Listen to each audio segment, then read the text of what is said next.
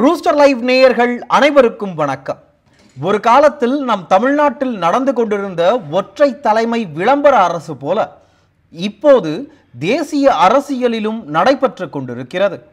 நாட்டில் எழுபத்தைந்து சதவிகிதம் மக்கள் பொருளாதார நெருக்கடியிலும் வேலைவாய்ப்பின்மையாலும் தரமான கல்வி சுகாதாரமான மருத்துவம் போன்ற அடிப்படை வசதிகள் கூட இல்லாமல் தவித்து வரும் நிலையில் நம் தேசத்தின் உண்மையான ஒரே குடிமகன் சேவகன் என்றெல்லாம் சங்கிகளால் போற்றப்படும் பிரதமர் நரேந்திர மோடி அவரை விளம்பரப்படுத்திக் கொள்வதில் தீவிரம் காட்டி வருவது ஏழை எளிய மக்களிடையே பெரும் மனக்கசப்பை ஏற்படுத்தி உள்ளது.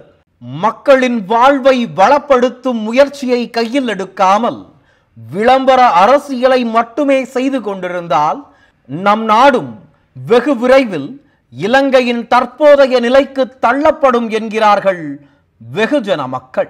மேலும் இது போன்ற செய்திகளை உடனுக்குடன் தெரிந்து கொள்ள த ரூஸ்டர் லைவை சப்ஸ்கிரைப் செய்யுங்கள். நன்றி வணக்கம்.